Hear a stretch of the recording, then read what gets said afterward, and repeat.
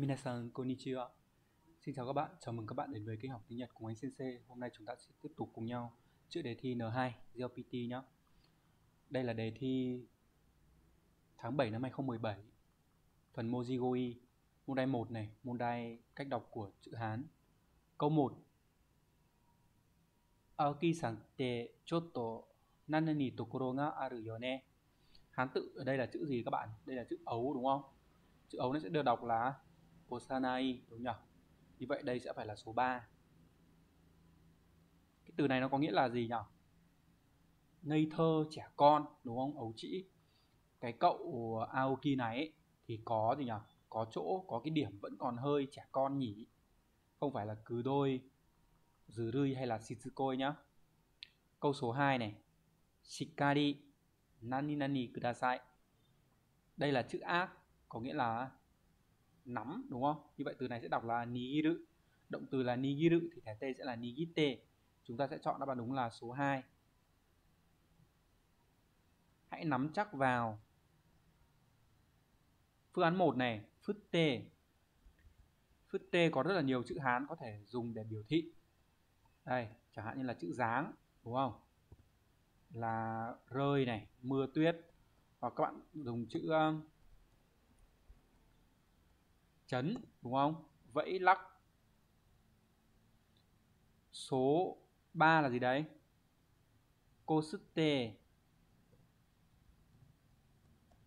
cô sức tê đây nhá. Chữ Hán là chữ sát, đúng nhỉ trong từ ma sát đấy. Số 4 là gì đấy? hốt tê Hô rự. Chữ này, đúng nhỉ? Đào này. Câu số 3 này 空気が入らないようにきちんと何々してください. Hán tự là chữ mật và chữ gì nhỉ? Chữ mật và chữ bế. Này. Chúng ta có chữ mật sẽ đọc là mitsu đúng không? Trong từ himitsu. Thật ra chữ mật này là kanji N1 các bạn nhé. Đấy. Trong từ himitsu này, chữ bế sẽ được bình thường đọc là he. Như vậy là ví dụ là trong từ he tên vậy thì theo quy tắc ấy, nó sẽ đọc là mitsuhe đúng không? Nhưng mà khi mà đằng trước là một cái chữ có gì nhỉ? Có thuộc hàng kasata mà đằng sau là thuộc hàng ha ấy. Đây là he thuộc hàng ha này. Thì nó sẽ bị biến âm nhá. Đó là chữ chữ đằng trước ấy, nó sẽ biến thành chữ nhỏ, âm ngắt đấy. Và cái chữ hàng ha này sẽ biến thành hàng pa. Như vậy chữ này sẽ thành mipe đúng đây phải là số 2 từ này có nghĩa là đóng chặt, đúng nhỉ? Hãy đóng chặt vào, hãy đóng chặt cẩn thận vào để không khí nó không vào được. Không phải là hippe hay là mipai hay là hippai Đấy. tuy nhiên câu này một câu cũng tương đối khó nếu như các bạn chưa biết cái từ này. Bởi vì chữ mật ở trong các giáo trình là được đưa vào phần kanji N1 câu số 4 này. Kanari no jikan o kakete tema o nanani đây là chữ gì đấy? Đây là chữ giảo đúng không?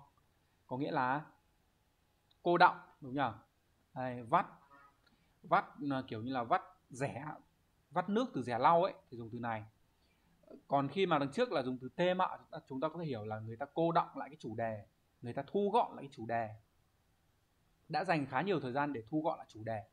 Thì à, từ này sẽ đọc là shibota đúng là một. Chỉ bằng nhá. Số 2 này. Kezuta. Kezuta chúng ta có chữ Hán là chữ tước, cắt giảm này. Số 3 Saguta Saguta Hán tự là chữ thám, lần mò tìm kiếm. Ukagata. Đây, chữ tứ, hỏi thăm. Câu số 5. Konosen ni taishite Nanyanina seo hite kudasai. Hán tự là chữ thùy và chữ trực, đúng nhỉ? Và thùy trực sẽ đọc là sư chô cự. Đây. Sư chô cự, đánh nó sẽ ra nhé các bạn nhé. Đấy, là vuông góc. Hãy vẽ một cái đường vuông góc với lại cái đường thẳng này, chẳng hạn như này. Người ta cho trước một cái đường thẳng. Nhá.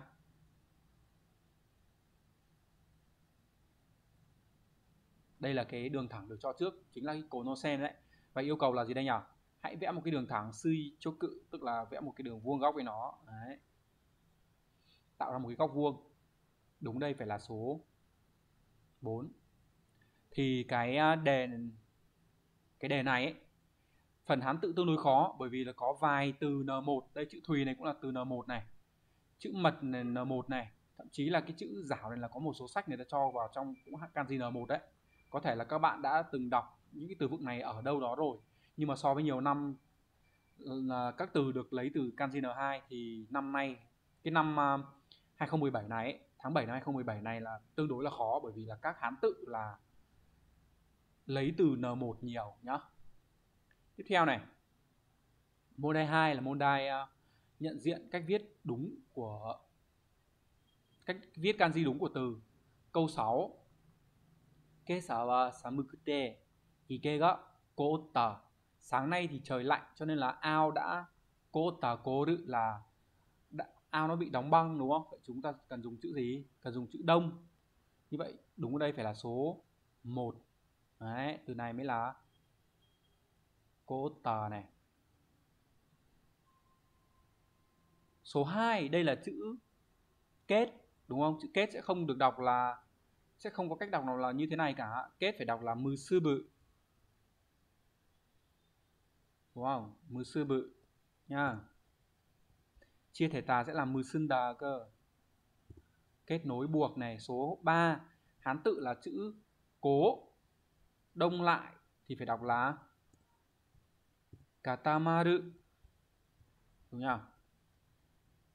Hay katamata mới chính xác, hoặc là cái dạng tha động từ là katameru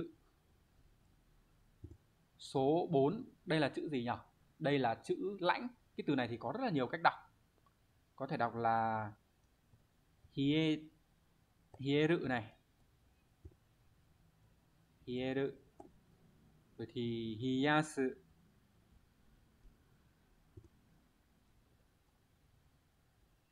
Đấy. Chưa hết. Sameru.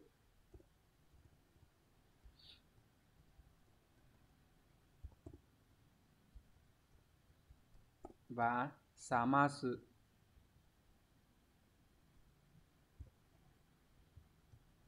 Sumetai nữa. Không phải. Câu số 7. Energy mondai ni tsuite no toron ga okonawareta. Toron chúng ta sẽ cần chữ thảo và chữ luận đúng không? Một cuộc thảo luận, một cuộc bàn luận về vấn đề môi trường, vấn đề năng lượng, vấn đề năng lượng chứ đã được tổ chức, đã được thực hiện, vậy thì thảo luận sẽ là chữ nào? Một, chúng ta thấy đây là chữ đảng. Đảng luận, vậy là bị sai mất cái chữ này rồi, không phải này. Số 2 là thảo luận, đúng nhá? Đúng, đây là số 2 chữ thảo ghép với chữ luận. Số 3 là chữ thảo và chữ đằng sau. Đằng sau là chữ nghị. Cái này, từ này phải đọc là thô ghi mới đúng. Chứ không phải là thô rôm.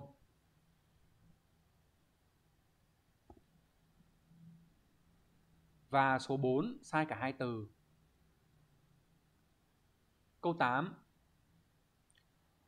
Watashi tachi no dantai wa kizutsuita suku shite imasu. Cái đoàn thể của chúng tôi đang thực hiện cái hoạt động sứ cự là cứu, đúng không? Cứu các loài động vật mà bị thương. Vậy thì chúng ta sẽ dùng từ nào? À chắc chắn là phải dùng chữ cứu rồi. Sam bằng sư cự là chữ cứu nhá. Số 1 này đây là chữ trị đúng không? Cái chữ trị này ấy, nó sẽ có cách đọc là gì nhỉ? Đọc là naoru này, naoru hoặc tha động từ của nó là nao sự nhá. Hoặc là cách đọc khác đó là osameru chứ không có cách đọc nào là sư cự như thế kia cả. Số 2 đây là chữ trợ sẽ đọc là gì? Tasukeru.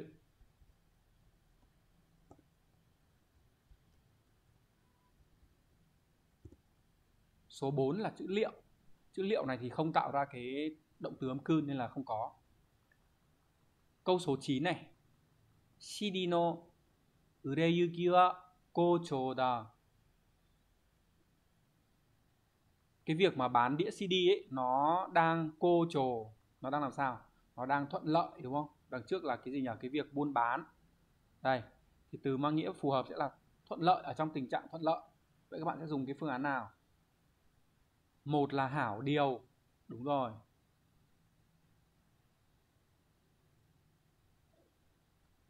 Thuận lợi này. Số 2 là chữ gì đấy? Đây là chữ khoái. Cái từ này phải đọc là cai trồ mới đúng nhá là câu này bị sai mất cái thằng uh, chữ này chữ khoái. Câu số 3 là chữ hảo với chữ trường không phải. Chữ trường bị sai. Và số 4 là cũng sai luôn. Câu 10 kono kikai wa eikyu ni ugoku wake dewa nai. Cái máy này ấy, không hẳn là nó sẽ hoạt động EQ chúng ta sẽ cần là chữ vĩnh và chữ cửu đúng không? Đọc là như thế. Đúng đây sẽ là nào nào? Một nào, chúng ta có đây là chữ diên đúng nhỉ? Đấy, đọc là en chứ không phải là e nên là chúng ta sẽ loại. Đằng sau là chữ cửu thật nhưng mà đằng trước bị sai rồi. Số 2 đây là chữ vĩnh và chữ viễn, từ này phải đọc là e, en. Thì mới đúng. Bị sai chữ thứ hai. Thằng số 3 là EQ đúng rồi vĩnh cửu đây nhá. Sam bằng. Và 4 là sai cả hai. Tiếp theo câu số 3 à, môn xin lỗi môn đai 3 môn đai 3 là môn đai gokese môn đai hình thành từ. Các bạn sẽ cần phải tìm cái từ để ghép tạo thành cụ sao cho đúng. Chúng ta cùng xem này nếu như tham gia hội, nếu như nhập hội vào trong tháng 4 thì cái tiền hội phí đây có từ nên độ, sẽ được miễn phí. Các bạn thấy là các từ như là chữ phát, hát sự này, chữ khai khai này, chữ đầu này, tô này, đúng nhỉ? Và chữ sơ lá, show. Như vậy là đi kèm với lại nên độ, chúng ta phải dùng từ gì? Show nên độ, đúng không? Là một cụm cố định rồi. 4 nhá, có nghĩa là năm đầu tiên. Nếu như tham gia hội vào tháng 4 ấy, ở trong tháng 4 ấy thì cái hội phí năm đầu tiên sẽ được miễn phí. Câu số 12. Koko kai in gì đó. No sports club da. Đây là cái câu lạc bộ thể thao. Đằng trước các bạn đang thấy có từ kai in là hội viên. Đằng sau có các từ này chữ D là lệnh này. Số 2 là C là chế này. Số 3 là số cự là tắc này và số 4 là hình này, đúng không? Đấy. Thì đi với lại cay sẽ là cay in gì nhỉ? Cay in C. Giống kiểu cay in C độ là chế độ hội viên ấy. Tức là muốn vào câu lạc bộ này thì phải đăng ký hội viên. Chế độ như thế thì mới được. Đúng đây, phải là hai nhá. Câu số 13 Mai no seki no hito wa Ishikawa-san no yona ki ga suru ga. Ushiro kara de wa kao ga mienai chữ bản chữ chính chữ chân và chữ hoàn. Tôi uh, có cảm giác là cái người ngồi ghế trước ấy là Ishikawa. Nhưng mà tôi ở ngay đằng sau đúng không? Cho nên là tôi không nhìn thấy mặt. Vậy thì ở đây từ nào sẽ mang nghĩa là ngay đằng sau?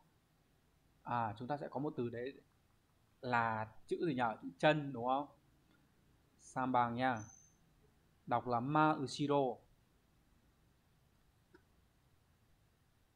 Dấu hiệu là Ushiro nên là phải là số 3 thì cái môn đai này ấy, là một môn đai cũng tương đối là khó bởi vì là có thể các từ đó là các bạn chưa từng gặp. Vậy thì để làm tốt môn đai này bắt buộc các bạn phải làm phải ôn lại cái bảng những cái từ mà ghép với lại nhau để tạo ra cái dạng thức phù hợp mang tính chất tương đối là cố định trong tiếng Nhật. Đấy. Như là tiếng Việt mình cũng thế thôi đúng không? Mình sẽ nói là kiến trúc sư chứ tiếng Việt mình đâu có nói là kiến trúc sĩ chẳng hạn đấy. Thì uh, để làm tốt môn này này cố gắng là các bạn học cái phần uh, mấy bài cuối cùng của sách Shinkansen Master từ vựng N2 ấy, thì các bạn sẽ làm tốt được nó. Tất nhiên là có học hết sách đấy thì cũng chưa chắc đã làm được hết mọi câu ở trong phần này ra đâu bởi vì bây giờ người ta đang ra đề theo hướng là bổ sung thêm những cái từ mới ở trong cái cuốn Shinkansen để chúng ta không học tủ nữa. Nhưng mà tốt nhất là gì nhỉ? Trang bị được thêm cho mình chút nào kiến thức mà có thể thì càng tốt. Còn tất nhiên là người ta đã mà lựa chọn những cái kiến thức ở bên ngoài người ta đưa ra thì có những cái chúng ta xác định là chúng ta sẽ khó để làm được rồi. Tiếp theo môn đai số 4 nhá là môn đai um, từ vựng này. Câu đầu tiên câu đầu tiên các bạn thấy toàn bộ là người ta dùng uh, tính từ đuôi na đúng nhỉ đang chia dưới dạng uh, cho thêm nhị để bổ nghĩa cho động từ đấy. Hone o jobu ni suru tame ni calcium o gì đó, fukumu shokuhin o toru you ni shite iru. Để làm cho xương chắc khỏe ấy thì tôi luôn luôn cố gắng là uh, bổ sung các loại thực phẩm mà chứa canxi làm sao đó thì chúng ta thấy là động từ là động từ chứa đúng không? Vậy thì chứa như thế nào? Các bạn cùng xem này, số 1. Seme nhỉ? Seme là rõ ràng. Cái từ seme này nó đi với nó thường đi kèm với những cái từ như thế nào? Chẳng hạn như là một cái ấn tượng, đúng không? Insho một cái ấn tượng rõ ràng, hoặc là một cái ký ức rõ nét, nhá, ký ức cự. Chứ không phải là gì nhỉ chứ không phải là đi với từ phứ cư mự nên là chúng ta sẽ không chọn một. Câu 2 kapatsu kapatsu là hoạt bát sôi nổi, đúng không? Nó sẽ đi kèm với lại từ chỉ người, chẳng như là một đứa trẻ. Hoạt bát này kodomo đấy, hoặc là một cái cuộc sô đăng mang tính chất gì đấy? Mang tính chất uh, sôi nổi cũng không phù hợp. Số 3 là emman hán tự là viên mãn. Viên mãn này có thể dịch là viên mãn hoặc là trọn vẹn nhé chẳng như là emana phư phụ đúng nhỉ? Là gì nhỉ? Vợ chồng hòa thuận. Đấy viên mãn này. Hoặc là emani cai kết sự có nghĩa là giải quyết một cách trọn vẹn. Đấy. Nhưng đây là động từ phứ cư mự chúng ta sẽ không chọn vậy thì đúng nhất ở đây phải là số 4 hô phự. Đúng nhỉ có nghĩa là phong phú nhiều nó sẽ giống tương tự với lại từ à, uh, yutakana đấy. Nó sẽ là gì nhỉ nó sẽ là chisiki kiến thức tri thức phong phú này tài nguyên shigen này rồi thì uh, gì? Kê kên kinh nghiệm này vân vân. Và nó đi với lại động từ phứ cư mự là gì nhỉ? Chứa đúng không? Đấy. Chứa một cách phong phú. Đúng đây phải là số 4 nhá. Để làm cho xương chắc khỏe thì tôi luôn luôn cố gắng bổ sung các thực phẩm mà chứa hàm lượng canxi phong phú. Câu số 15 câu 15 chúng ta lại thấy là các tính từ đuôi na đúng nhỉ? Konshu wa atsuku mo samuku mo naku tsuyoi kaze mo fukazu nani nani tenki ga tsuzuite iru. Chúng ta thấy có từ tenki, vậy thì từ nào đi với từ tenki là phù hợp nào? Tuần này ấy, thì không nóng mà cũng không lạnh và cũng không có gió mạnh thổi và tiếp diễn cái thời tiết như thế nào đó đúng không? Đi với thời tiết mà các bạn thấy là gì đấy? Không nóng không lạnh thì không có gió mạnh thổi là một thời tiết rất là ôn hòa rất là êm đềm đúng nhỉ? Thì sẽ dùng từ nào nhé từ đầu tiên. Uh, yawarakana. Từ này có nghĩa là mềm dẻo linh hoạt đúng không? Nó dùng cho cái gì các bạn biết không? Thứ nhất là nó dùng cho có thể dùng cho bánh này bánh bánh mochi. Đấy. Bánh mochi dẻo này. Hay là dùng cho một cái cơ thể. Mềm dẻo linh hoạt.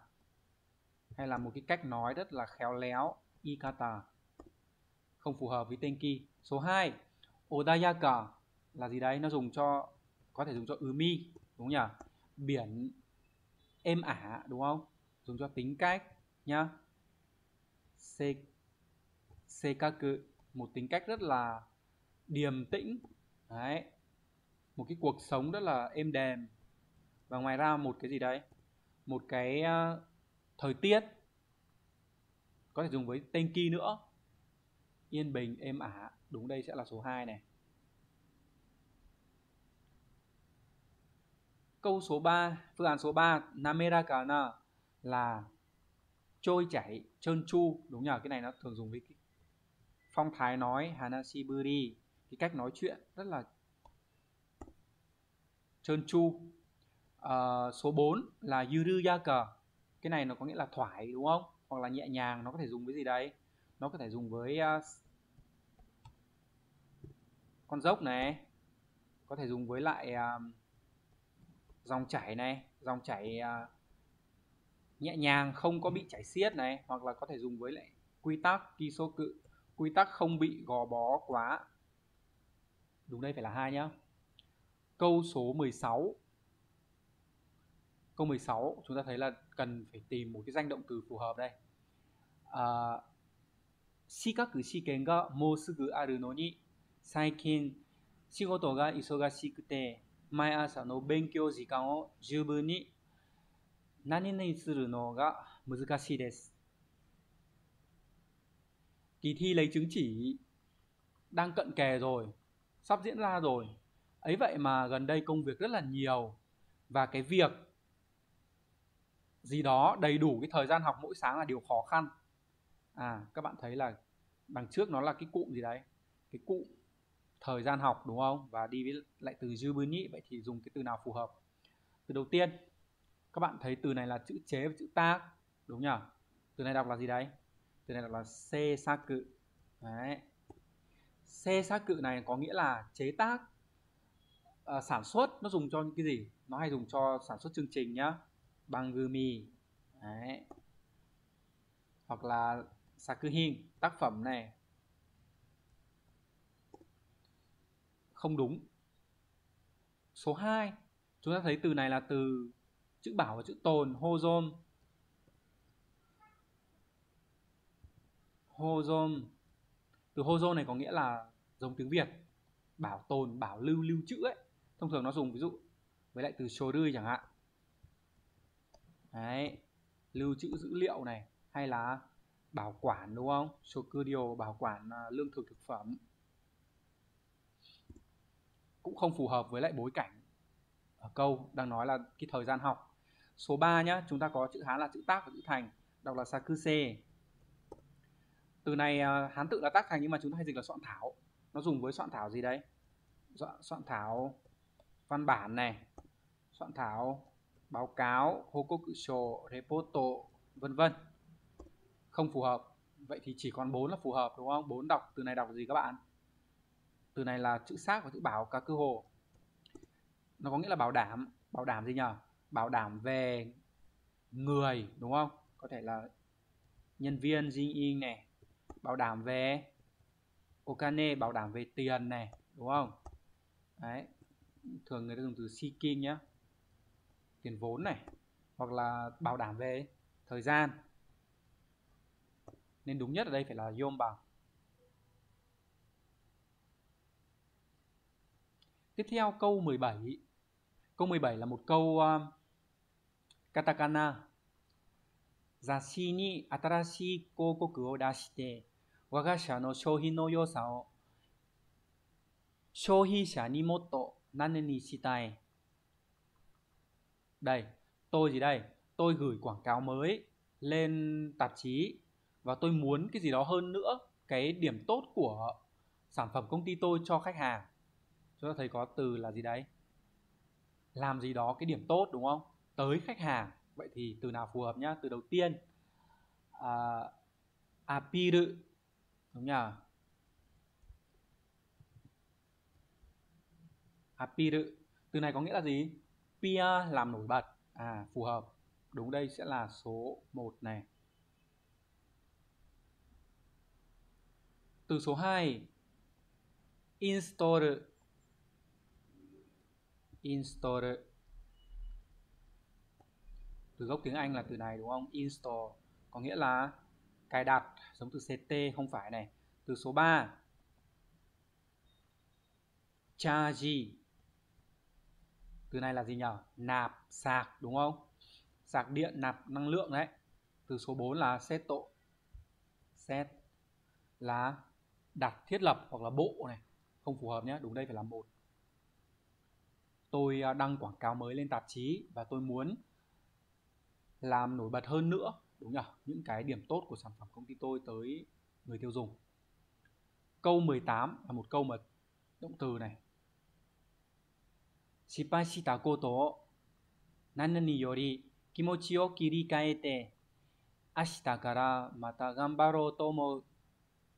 các bạn thấy người ta đang dùng yori là hơn. Người ta làm B thay vì A này. Thay vì gì đó cái thất bại, cái điều mà tôi đã sai lầm, điều mà tôi đã thất bại, thì tôi nghĩ là từ ngày mai sẽ cố gắng. Đấy, tôi nghĩ là sẽ đổi mới tâm trạng, làm mới tâm trạng và cố gắng từ ngày mai. Vậy thì từ nào là phù hợp với lại cái gọi là shipashita koto số 1 từ này là kotoaru. Kotoaru là từ chối, đúng không? Không phù hợp. Về nghĩa. Số 2 utagau nghi ngờ này cũng không hợp này. Số 3 là kuyamu. Là cay cú. Đúng nhỉ cay cú. Tiếc nuối. Hợp lý nhá. Thay vì cay cú những cái thất bại, thay vì tiếc nuối những cái thất bại, thì tập trung vào cái việc gì nhỉ cố gắng bắt đầu từ ngày mai đổi mới cái cảm xúc của bản thân. Đúng phải là ba. Số 4 là akirameru. Cái này nó sẽ có hán tự này.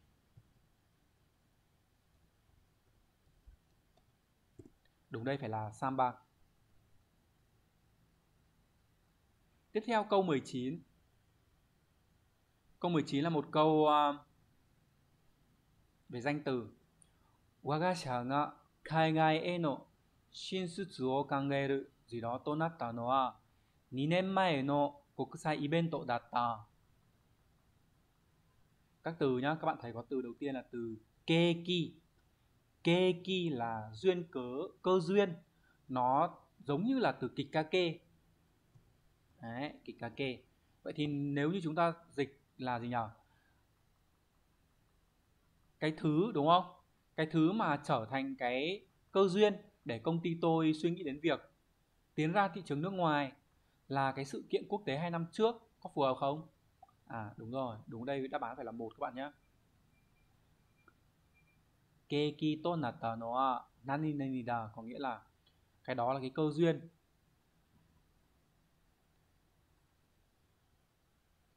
Có thể là cái sự kiện quốc tế hai năm trước ấy, đấy, thì cái công ty của, công ty của ừ, à, của tôi ấy đã đến đó giao lưu, trao đổi, đúng không? Và nhận thấy tiềm năng. Và đó chính là cái cơ duyên đó chính là cái động cơ cái uh, nguồn cơn của cái việc uh, họ nghĩ đến việc mở rộng ra nước ngoài. Số 2 đây là chữ sentan. Sentan có nghĩa là đi đầu mũi nhọn. Nó thể hiện một cái việc đi trước đón đầu một cái gì đó không phù hợp với bối cảnh câu này. Số 3 là gì đấy? Shihatsu. Shihatsu. Shihatsu là gì nhỉ? là xuất phát đầu tiên. Đấy. Không phải nó thường dùng cho kiểu như là tàu điện xuất phát đầu tiên ấy. Nó sẽ trái với từ chưa hát sự là xuất phát cuối cùng nhá. Từ số 4 là ai dự, ai dự là gì nhỉ? Ai dự là dấu hiệu ám hiệu. Cũng không phải. Câu 20 câu cuối cùng trong môn đai 4 đó là một câu về à, từ lấy và phó từ đúng không? Các bạn xem này. Ano saki kara 話してるが他人に聞かれ聞かれては困る話なのだろう hai cái người kia từ nãy đến giờ nói chuyện làm sao đó đấy có lẽ là nhá có lẽ đấy là một câu chuyện mà nếu như bị người khác nghe thấy thì thì komaru thì hai cái người này sẽ gặp khó khăn gặp rắc rối thứ nhất chúng ta thấy có từ hanashi hanasu là nói chuyện và thứ hai cái ý là bị người khác nghe thấy sẽ phiền toái ấy, thì chúng ta sẽ dùng cái từ nào phù hợp? Từ đầu tiên gusuri. Gusuri neru là ngủ say này không phải. Số 2 uroro là lảng vảng. Loanh quanh nó dùng để diễn tả cái hoạt động đi lại. À, số 3 hiso hiso là thầm thì thì thầm. Đúng rồi. Ba nhá là cái từ mà cố định đi kèm với hana sự có nghĩa là nói chuyện một cách thầm thì thì thào không để cho người khác biết và basari là gì đấy, là kiên quyết mạnh mẽ, nó sẽ đi kèm với lại những từ như là, ví dụ như basari kiru. Kamio basari kiru là cắt phăng cái mái tóc đi. Đấy. Không phải. Môn đai số 5 là môn đai à, từ đồng nghĩa. Chúng ta cùng xem này. Câu 21 Saiki wa seisan ga kanjou de aru koto ga mondai ni natte iru. Gần đây ấy, thì cái việc sản xuất hán tự đây là chữ quá và chữ thặng trong từ thặng dư có nghĩa là dư thừa quá là quá nhiều. Vậy thì từ casual này có nghĩa là gì đấy? Dư thừa đúng không? Dư thừa quá mức. Gần đây thì cái việc sản xuất nó đang dư thừa quá mức. Và việc này nó trở thành vấn đề. Chúng ta xem cái nào là phù hợp với nghĩa đó nhé một này, haya sugiru là quá nhanh, quá sớm. Sukuna, đúng nhỉ? Sukuna sugiru là quá ít. Oso sugiru là quá chậm và o sugiru là quá nhiều. Đúng đây phải là 4 4番 câu số 22もし資料に誤りがあったら知らせてください nếu như có cái gì đó ở trong cái tài liệu thì hãy thông báo ayamari chúng ta sẽ có hai từ đọc là ayamari đúng không các bạn một là ayamari hán tự bằng chữ tạ có nghĩa là cái sự xin lỗi đúng nhỉ nhưng mà đây là liên quan đến tài liệu thì sẽ là không phải này chữ này mà phải là chữ gì Phải là chữ ngộ, có nghĩa là lỗi sai, đúng nhỉ? Nếu có cái lỗi sai thì hãy thông báo cho tôi nhé thì cái nào là lỗi sai? Một là yominiku tokoro cái chỗ mà khó đọc. Yogoreteru tokoro là chỗ bẩn. Wakariniki tokoro là cái chỗ khó hiểu và machigateru tokoro là chỗ bị sai.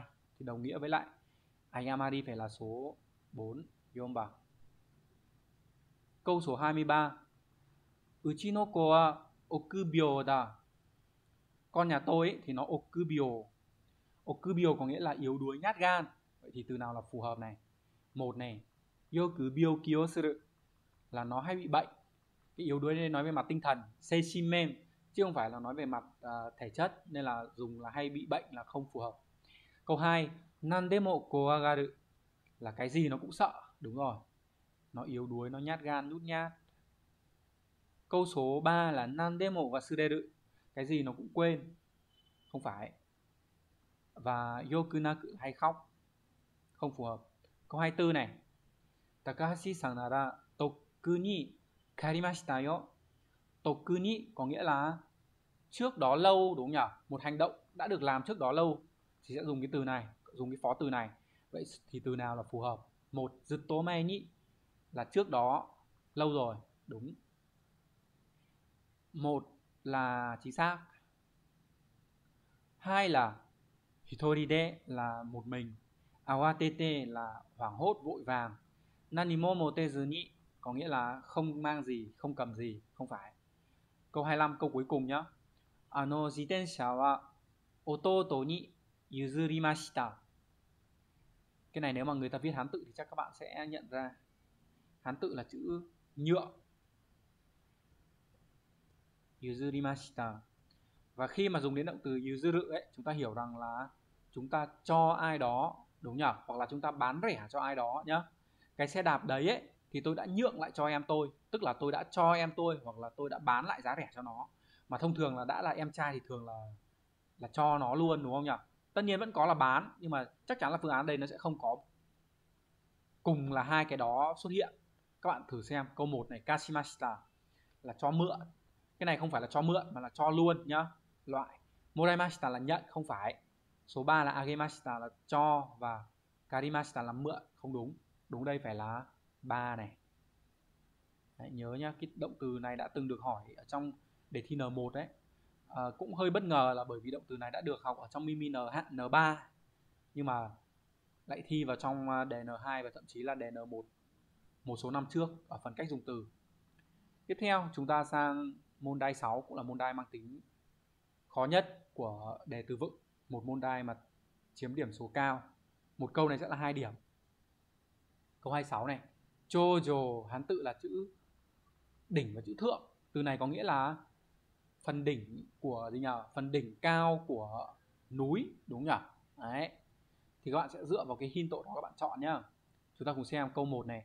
Kono hoshi wa natsu no yoru 12時頃空の頂上のあたりに見える cái ngôi sao này ấy vào khoảng 12 giờ đêm hè thì có thể thấy ở phần phần đỉnh của bầu trời chúng ta không dùng cái chữ chojo với bầu trời các bạn nhé với bầu trời các bạn có thể dùng từ uh, HT có nghĩa là cái phần gì nhỉ cái phần cao nhất của bầu trời mà các bạn nhìn thấy được ấy câu số 2 Yama à thầy có Yama thì khả năng đúng cao này Yama ni nobori hajimete 時間ぐらいして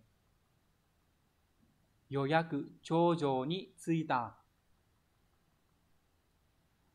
bắt đầu gì đây bắt đầu uh, leo núi một vài giờ ấy thì cuối cùng tôi đã lên được đến đỉnh núi đúng rồi dấu hiệu là yama và nitsita nhé đúng là hai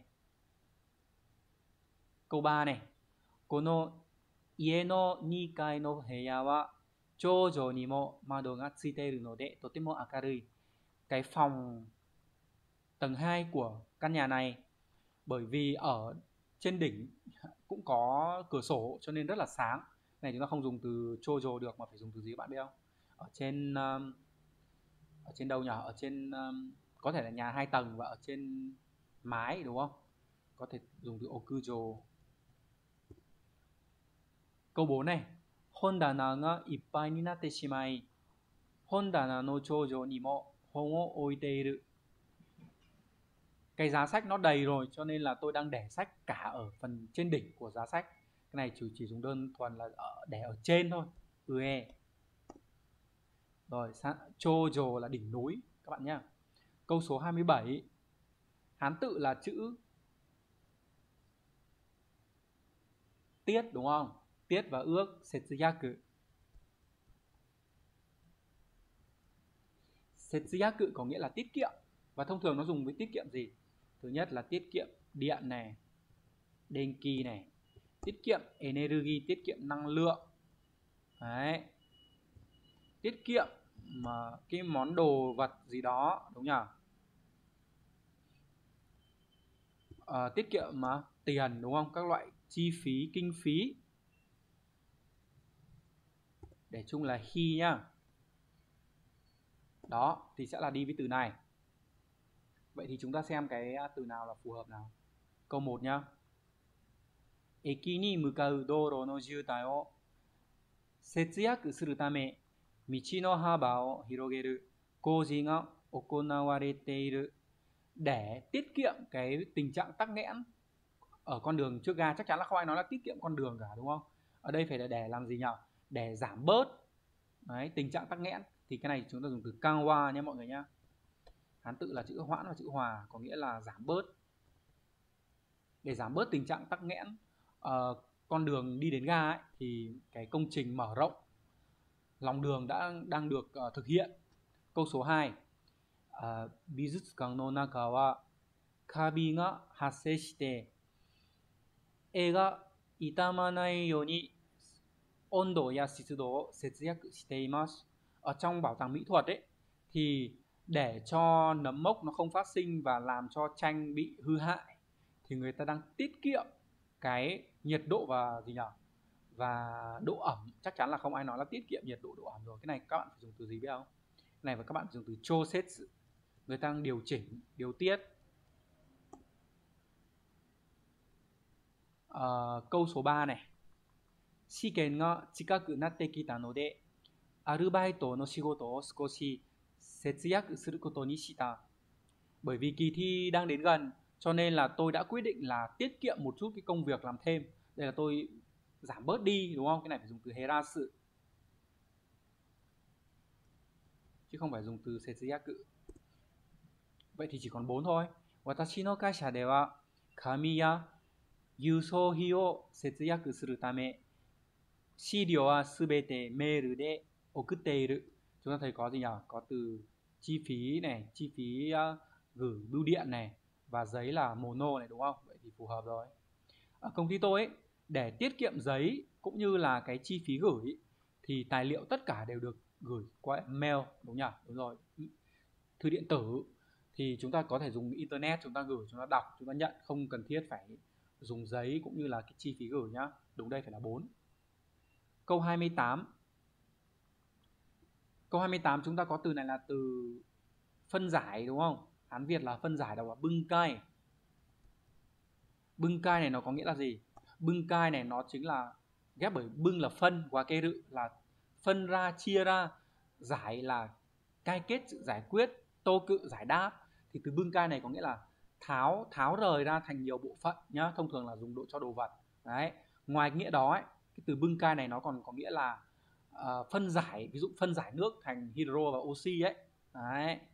Mang một cái thuật ngữ mang tính hóa học chẳng hạn các bạn có từ denki bưng cai là gì nhỉ một thuật ngữ rất là quen thuộc ở trong chương trình uh, hóa học các cấp dưới mà trước đây chúng ta từng học đây là chính là điện phân đúng nhỉ dùng dòng điện để phân giải một chất. Nhưng mà những cái từ mang tính chất chuyên ngành này thì thường thì sẽ khó mà người ta cho vào bài học.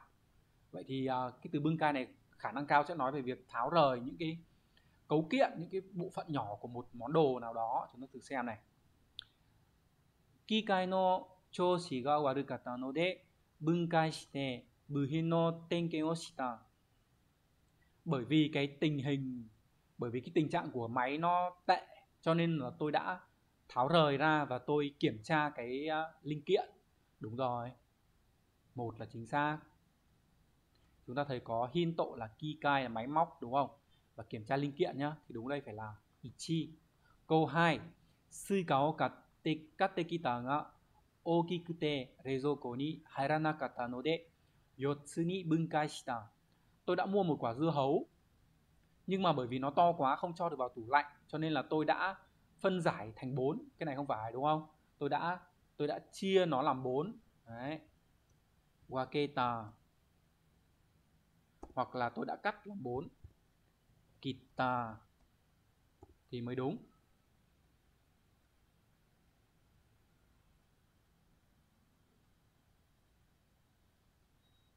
câu số 3細かいお金がなかったので近くのお店で千円札を分解してもらった bởi vì tôi không có tiền lẻ cho nên là ở cái cửa hàng bên cạnh ấy tôi đã được người ta đổi cho cái đồng một sen à đổi tiền chúng ta phải dùng từ gì phải dùng từ diogae nhá.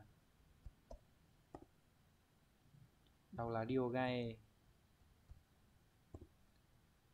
câu số 4 isogi no shigoto ga haeta no de 3 nin de bunkai shite susumeru koto ni shita. Bởi vì có cái việc gấp nó xen vào nên là ba người đã tháo rời, không phải, đúng không? Ba người đã chia nhau làm. Thì đối với việc mà chia nhau làm chúng ta phải dùng từ bưng tăng đây từ này. Hoặc các bạn có thể dùng từ tewake chia nhau làm công việc. Đấy, sẽ phù hợp. Câu 29 đây là chữ lược đúng không nhỉ? Từ này đọc là deakusu deakusu từ này có nghĩa là lược bớt cái phần nội dung không cần thiết những cái phần nội dung mang chất dài dòng đúng không? Bởi vì vấn đề gì nhỉ? Bởi vì vấn đề thời gian. Đấy chúng ta cùng xem này 時間がないので詳しい詳しい説明は略略して要点だけお話お話しします bởi vì uh, không có thời gian cho nên là cái phần giải thích chi tiết ấy, thì lược bớt đi và nói tôi nói tôi sẽ nói chỉ cái phần uh, thông tin quan trọng thôi đúng rồi một là chính xác uh, hiên tội của chúng ta là lược cái phần thông tin dài dòng và chỉ nói cái phần tóm tắt đúng nhỉ cái phần chính thôi câu 2 này 合計で1万円以上ご購入の場合、送料が略す。略します。Có phải không nhỉ? Ở đây với cái từ phía trước là từ số điều ấy là cái tiền gì nhỉ? Là cái tiền uh, tiền phí gửi ấy thì chúng ta sẽ không thể dùng từ ờ, uh, đẹp cư sự được các bạn phải dùng từ khác. Các bạn phải dùng từ hà bư cự nha. Hà bư kimasu mặc dù cả tỉnh đây là chữ tỉnh đây là chữ lược đều mang nghĩa là lược bớt đi. Nhưng mà đi với lại cái từ chỉ cái khoản tiền ấy mà chúng ta không phải trả sẽ được lược đi sẽ được bỏ đi ấy thì các bạn phải dùng cái chữ này mới chính xác nhá trường hợp mà mua từ một à, mua từ một man trở lên thì cái tiền gửi sẽ được miễn. Câu số 3 này. Kenko no tame ni sato ryaku shita jam wo tsukatte imasu. Vì sức khỏe tôi đang uh, sử dụng cái da mự cái loại uh, mứt mà lược đường đi cái này không đúng. Các bạn phải dùng từ nuki. Này. Nuki có nghĩa là bỏ không cho cái đó vào. Các bạn có thể dùng cái cụm là N1 nhá. N1 này, nuki, N2 có nghĩa là cái N2 là cái bỏ cái N1 đi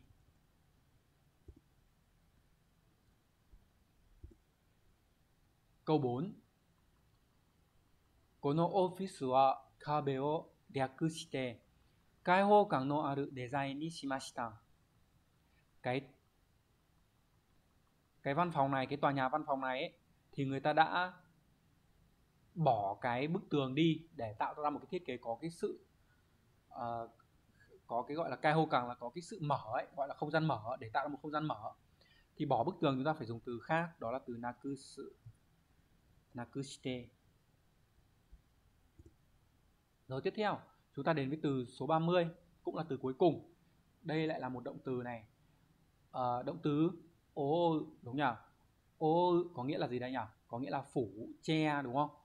Đấy, nó thường thường dùng với lại một số cái dạng cố định như thế nào? Chẳng như là mây che đỉnh núi này, đấy, hay là che mặt này, lấy tay che mặt, hay là bị bóng tối bao phủ, đúng nhỉ chúng ta xem cái bối cảnh nào là phù hợp nhá, câu 1 này.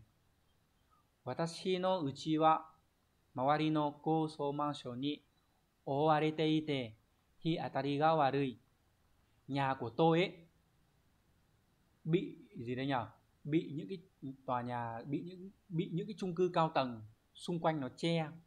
Và cái chiều sáng rất là kém, đây phải là bị gì đây bị bao quanh bởi, đúng không nhỉ đây có màu đi mà thì phải là bị bao quanh. Cái này phải, các bạn phải dùng động từ kakomu kakomarete câu 2 vận động viên ờ, Modi đã giành chức vô địch ấy.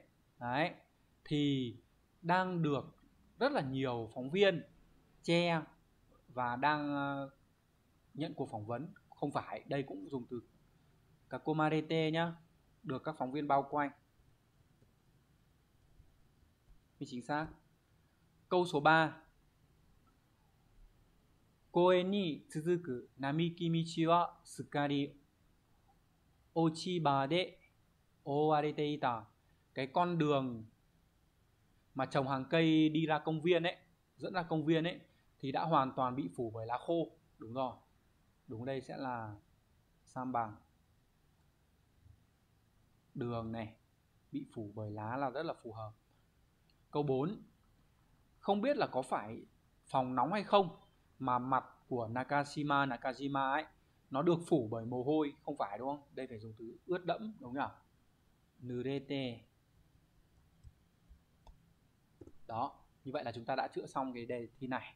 Hy vọng là các bạn rút ra được kinh nghiệm cho bản thân nhé à, các bạn hãy à, tiếp tục theo dõi và ủng hộ các video trên kênh uh, YouTube Ánh Sensei cũng như là uh, trang fanpage Ánh Sensei và nếu như các bạn cảm thấy cái việc tự học khó khăn ấy thì có thể liên hệ với mình để tham gia các khóa học online trực tuyến qua Zoom.